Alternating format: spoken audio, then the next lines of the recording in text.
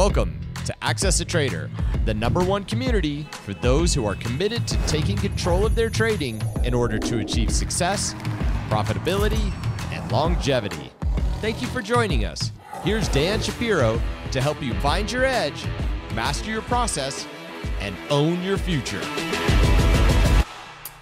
Hey guys, good morning everybody, and well, good evening everybody. Welcome to another edition of uh, the AccessTrader.com nightly update show. Hope everybody is doing well. So let, us talk about today's tape. So I, I think today's market um, really led down a lot of traders and kind of left um, left kind of this little stank in our mouths uh, for most of us, right, throughout throughout the day. And what I mean by that was, uh, look, there's never any doubt which way the, the wind is blowing. Okay, um, I, I, think if you guys watched uh, the weekend video, um, I talked about a potential washout, right? That the Bulls needed a washout for any potential quote unquote uh, capitulation, uh, reversal, at least a kind of tradable multi day bounce. The Bulls needed to get a washout scenario, throw retail out the uh, out the way, throw the baby out with the bathwater, and kind of reverse. And I kept on talking about uh, on the weekend video that the last thing the Bulls wanted was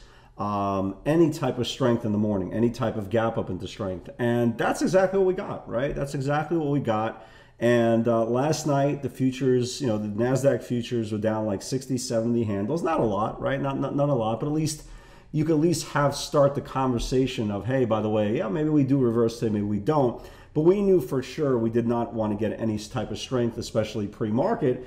And lo and behold, that's where kind of the narrative started to, to kind of uh, change form today. Uh, pre-market, uh, everything was pretty much flat. Okay, uh, some stocks were green, some stocks were red, but there was nothing there uh, to give you a sense of, hey, this is it. This is going to be the reversal. Just because, again, you don't get a reversal just on a random open uh, into strength. Again, it's very rare that you'll get a gap and go or, or green and go in any type of sell uh, cycle environment. So I, I think the Bulls, uh, and again, it's not their fault. Again, it's not like uh, the Bulls and Bears could control overnight futures cash. But the fact that we didn't gap down, didn't get that washout, didn't get that uh, washout scenario, throw the baby out with the bathwater scenario, really put the market participants in a very, very awkward hand today. Uh, and and what I mean by that was if you look at the final standings, right, and you'll see the Dow down 300. I don't care about the Dow. The S&P down a percent, uh, and the Nasdaq down 0.6 percent. You're not going to get a really good uh, sense of what today's action was, or more important, what this action wasn't. Uh, majority of the day, you saw half the technology names green, right? Tesla was green, Apple was green. Uh, Coinbase was green. You know, some random names here and there. Even Amazon was green. Then, then the other half were red, right? Microsoft was red. Snow was red. So it's very, very tough to get very excited about when you have a Christmas tree effect, meaning half the stocks are red, half the stocks are green. The greatest value we always get is when we our research tells us, hey, for tomorrow, let's watch this group, obviously technology space, if they confirm the downside channels, everything gets pulled up, right? It's not Microsoft is strong, Apple is is weak. It's not Meta is strong, Google is weak. It's everything is strong or everything is weak. And today we had the Christmas tree effect, green and red, and it led to a very undesirable day. Very very slow, methodical day. Nothing really to to even talk about. Uh, you know, there's a couple of pivots here and there. There's some Tesla. There was a Tesla long, but I messed that up. Um, Tesla long. There was a, a snow long and then a snow short. Uh, but most of the day, the market was kind of dead. And what I mean by that is, again, it's kind of the old, uh, the old, uh, you know, formation that, that, that I kind of talk about all the time. A stock cannot go higher if the stock doesn't take out the previous day's high, and the stock cannot go lower if it doesn't take out the previous day's low. And that's exactly what happened to us today, right? We gapped up, right? We gapped up for a little bit. We got rejected off Friday's highs and we started going lower. So now that put us in the situation, the Christmas tree effect, have green, have red, but we didn't take out the previous day's low. And as the Qs don't take out the previous day's low, probably most of the names that you're looking at are going to do the same. And that was where we ran into trouble. And the most important part is, again, it's okay, right? It's okay. Uh, you know, I still believe, and I'm always, you know, I'm always on the lookout because again, I don't want to get trapped at the bottom of the range. I'm always to the point of any big gap down, especially on a lengthy continuation move like we've had now. Now, you know, we've lost uh, we lost the 50 day on what the the 13th, right? Today is what the 26th. or 13 days ago, two weeks ago, we lost the level. So it's been kind of almost linear down with a couple of uh, blips of upside to the side. So we, we, we kind of know there's there's weakness out there. We, we, we get it. You know, it's not something that is just you kind of woke up to today. Wow, the market sucks. No, market doesn't suck. The market's going lower. Um, and most important part is of this market's going lower. Again, we want to always stay away from the stocks that have been kind of going linear with the market, but stocks that are starting to break down. So we, that's why we talked about the names like a NET a couple of days ago, right? Names like a NET that is just coming out of a range here, and I still like it for tomorrow. Again, you can see another case scenario that didn't take out the previous day's low. A name, for example, like Snow today lost the 50-day moving average, right? But again, you could see there's a lot of meat on this bone because it starts confirming this Bollinger Band for tomorrow. This thing has a lot of room down. But the point is, it's not down here. It hasn't been selling off for three, four, five weeks, six weeks. It's just finally starting to lose its 50-day moving average. That's one of the uh, that's one of the cases that we're still trying to find uh, the greatest amount of value that stocks are not they're not over overly sold or overly extended. So that's why I'm looking more like names like an, uh, a Snow. I'm looking more like names like an NET, right? Because just first, you know, first couple of days below this channel here. Even a name like First Solar. Again, always people talking about, well, this one's the strongest stock. Everybody's everything's the strongest stock until they lose ranges, right? Just like we talked about Tesla you know, for, for last week. It was strong, it was strong, it was strong until it lost its 10 day moving average. It was strong, it was strong, it was strong until it lost its 50 day moving average, right?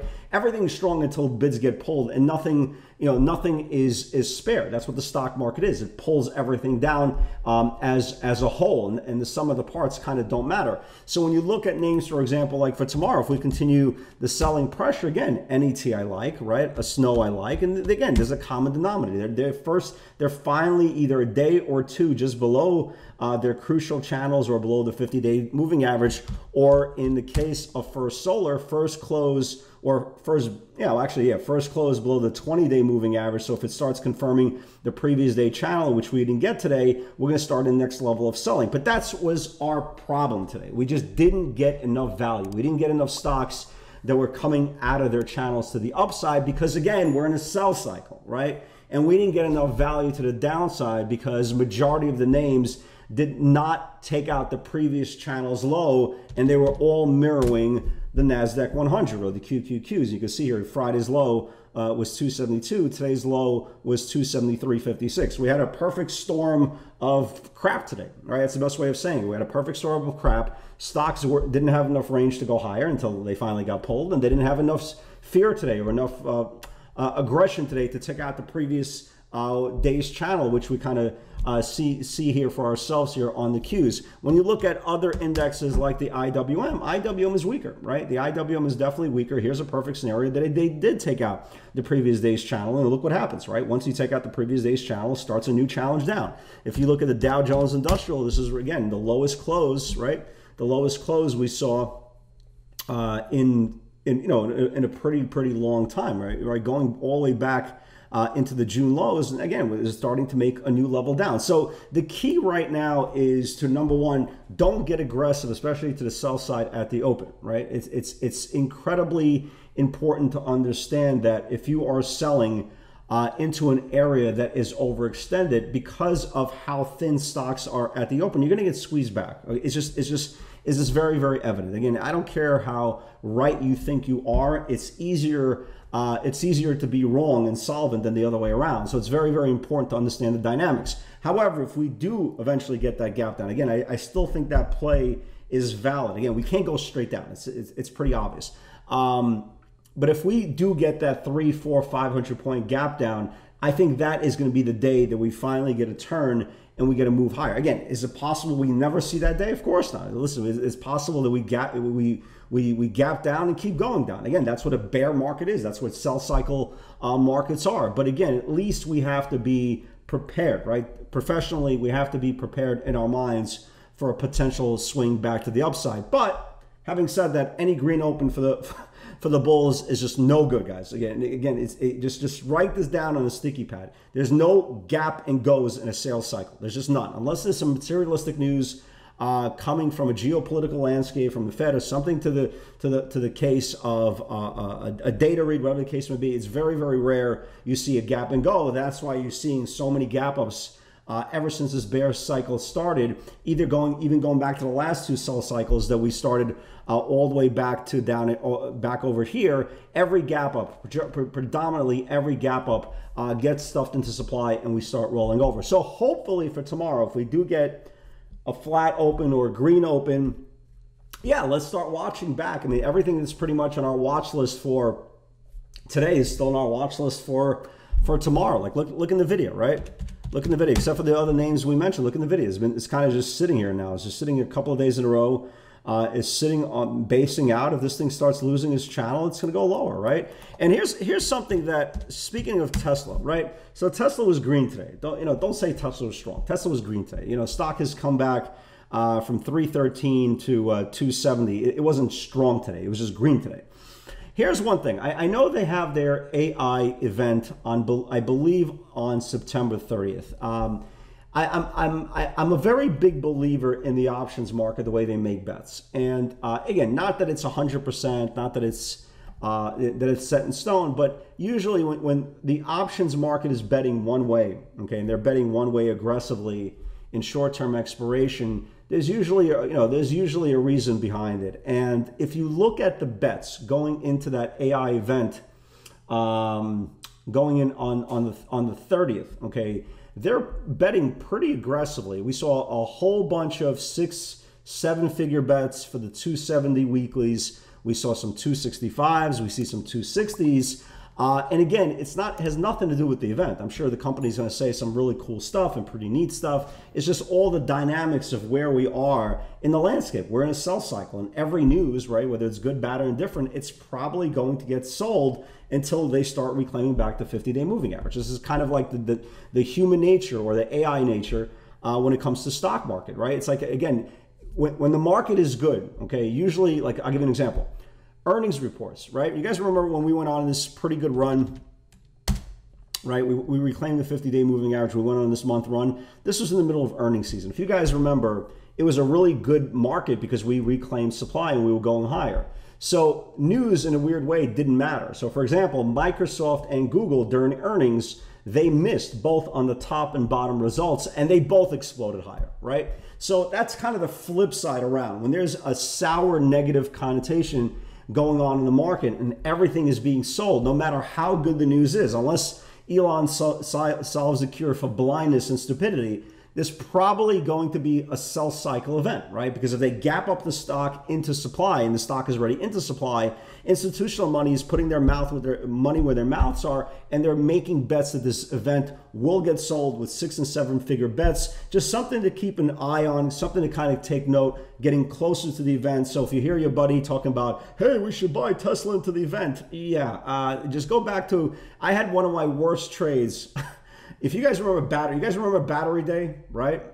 Battery Day a couple of years ago. Yeah, okay. I was buying the dip in Battery Day. No good. So I, you know, I have a I have a firsthand experience of what what selling into event uh, feels like, and I promised myself I would never do that again. So just keep something in, in mind in the back of your head as we get closer uh, to the AI event and you start seeing and pay attention, continue to pay attention uh, to the options market and see what's what. Other notable bets that we saw, if you guys remember a couple of uh, weeks ago, we were watching, they, they were betting pretty aggressively. It was one of the videos we were talking about. When we were like up here, they were coming for the 366. You guys remember the 366 puts, right? They were coming very, very heavy for the 366 puts millions and millions of dollars. Well, today they started coming for the October 344s in the SPYs. Very, very aggressive. You know, 5, 10, 15 million dollars a clip. Very, very aggressive. So again, nobody's talking about, even if we get a reversal and it's one or two days, nobody's talking about the bottoms. Stop worrying about the bottoms, the tops.